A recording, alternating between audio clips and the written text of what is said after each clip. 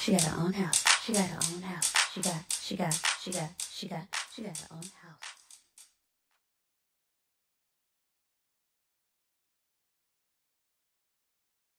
Hey family, welcome back to my channel. So today I'm going to show you how to seal your tile grout lines. I did already sweep and mop, but right now I'm just walking through looking for any little bits that I may have missed. I just found a little bit of paint left over by the builder that I'm scrubbing up. So I'm going to be using Sealer's Choice Gold, the 24 ounce. And then I'm also going to be using some microfiber towels and then lastly, I'm going to be using a grout applicator brush. So before we get started, let's do a quick water test. I just have a cap full of water that I'm going to pour into the grout line. And as you can see, it turns dark or wet. It gets wet. And that will no longer happen once you actually seal your grout. It will look like nothing is on it.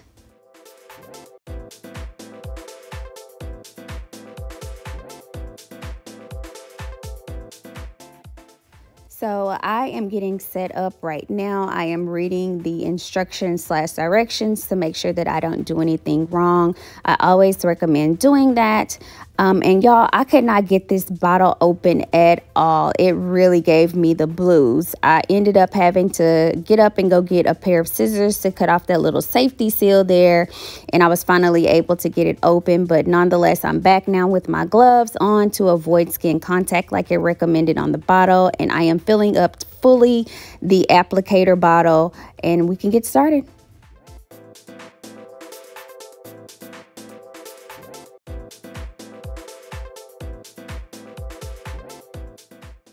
It is exactly like coloring or painting. You literally, guys, just put the tip of the brush into the grout line. And as you can see, it is turning wet when you apply the sealant over the top of the grout lines. It goes from white to a dark grayish wet looking grout line. And here's a closer look now so that you can see exactly what I'm doing.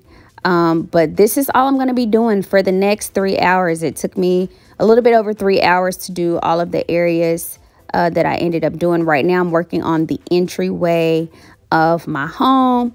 And after I do a little section, I go through and I clean up the excess uh, just to make sure that I don't get it all over the tile. I only want it to be exactly where I put it. This is supposed to actually last for 15 years if you apply a couple of coats, but I highly doubt it. Maybe if I put this in a section and I never walk on that area again, it may last. But for high traffic areas, I'm just hoping to at least get a year or two out of it. This was a back breaking, okay? I went from crouching to sitting to standing. I even had to lie down at a certain point because I just kept getting uncomfortable. I definitely recommend having uh, some knee pads if you own those or some sort of cushion to sit on. Don't be like me your back will thank you the very next day, okay? Um, so this is how much I have left after doing the section.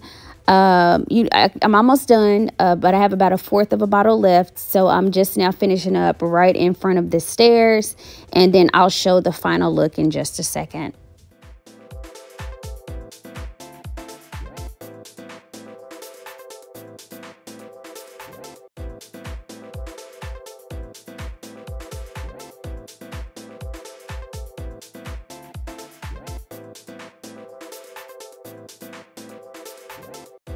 This is the final look of the first coat. I'm going to let this dry for 30 minutes before I go back and apply a second coat. But for now, I'm going to move on to the kitchen.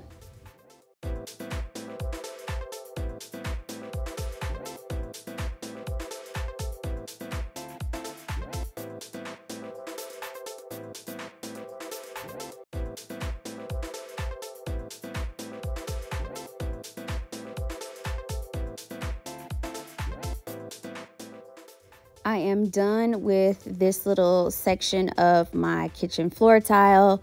Here is the final look after the first coat. Uh, don't worry about little dots that you see on my tile. the builder did leave behind quite a bit of paint. Uh, but I am tired, y'all. Okay, so uh, you would think I would be done, but I'm not. I'm moving upstairs into the master bathroom to go ahead and seal up my bathroom before I head back downstairs to do the second coat in the entryway in the kitchen.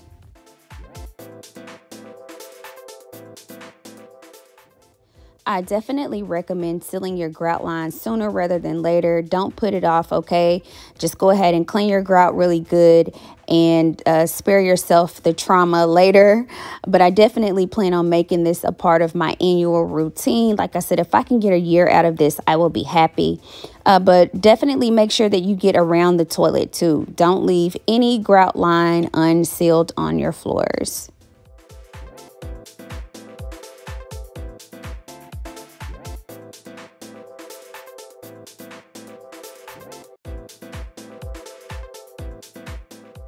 I'm just about done up here with the first coat in the master bathroom. I'm getting ready to head back down and do uh, the second coats downstairs off of camera. And then I will go ahead and do a quick water test to show the final results of the sealed grout lines. So it is time for the water test. Now I have that same cap full of water. This time when I poured in the grout line, look at that, nothing happens. Feel free to do this from time to time to make sure that you don't need to touch up your sealant.